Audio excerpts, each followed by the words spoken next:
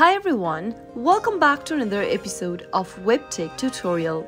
In today's video, I'm going to show you how to unblock people on Facebook. Watch the video till the end and don't forget to subscribe to our channel by hitting that subscribe button. Press the notification bell so that you'll never miss another upcoming upload from us.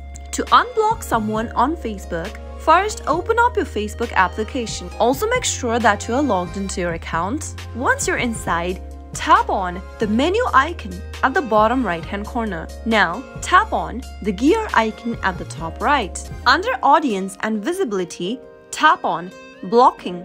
You'll be able to see the list of people that you've blocked on Facebook.